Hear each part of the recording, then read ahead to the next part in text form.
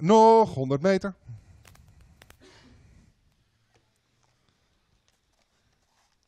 Vijftig meter nog.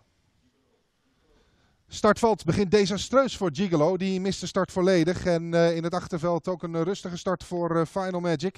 En de deelnemers gaan dan uh, de eerste bocht opzoeken. En dat doen we nummer 8, galop nummer 8. Met Golden Avenue aan kop van het veld. Maar een uh, prachtige beginfase is er ook voor Finn Verkijk met zijn Go Lucky. En je zou denken, die gaat het met zo'n paard vanaf dit moment afdwingen. En we gaan even kijken hoe zich dit gaat ontwikkelen. We komen af op de rechte lijn voor de tribune met Golden Avenue aan kop van het veld. Tweede plaats erachter in een zetel. En Finn hoeft nog niks te ondernemen. Paardje nummer 1 Go Lucky. Aan de buitenzijde komt daar met uh, grote stappen naar voren. Fisherman Sprite die kreeg moeilijk positie in de beginfase. En achter Fisherman Sprite komt daar in het uh, buitenste spoor zo te zien André Bakker. Hoe is die daar terechtgekomen? Dan met uh, Ilaria Sydney. En die ruikt natuurlijk een beetje bloed nu uh, de, een van de favorieten er niet meer bij zit. Maar ja, een hele koers drie dik, dat gaat je toch ook niet in de koude kleren zitten. Want Finn Verkijk heeft inmiddels de, het tweede spoor genomen met zijn nummer 1 Go Lucky.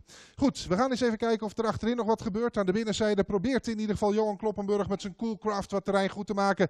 En dat geldt um, in zekere zin ook voor Willem Hamming met zijn Call Him George. We gaan af op de overzijde van de baan, doen dat voor de laatste maal.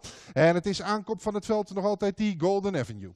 Golden Avenue heeft de leiding. We galopperen voor Colin George in het veld. Maar die Golden Avenue staat onder druk van een aandringende Goluk. Ja, Uitgeschakeld nummer 3. nog niet uh, opgemerkt. Maar Ruud Pools is daarbij met zijn Ebony Twix. Uh, Ilaria Sydney wordt niet meer gevraagd aan de buitenkant. En wordt binnendoor nu gepasseerd door Coolcraft. En in het tweede spoor door Fisherman Sprite. Die vooralsnog een uitstekende koers loopt. John de Leeuw. Hij krijgt nu de eerste call in de race. En dat is precies op het moment dat we zeiden van we zien hem wel zo in zijn karakteristieke stijl door die laatste bocht wapperen krijgt inmiddels wel Willem Kallenkoot naast zich met zijn Final Magic.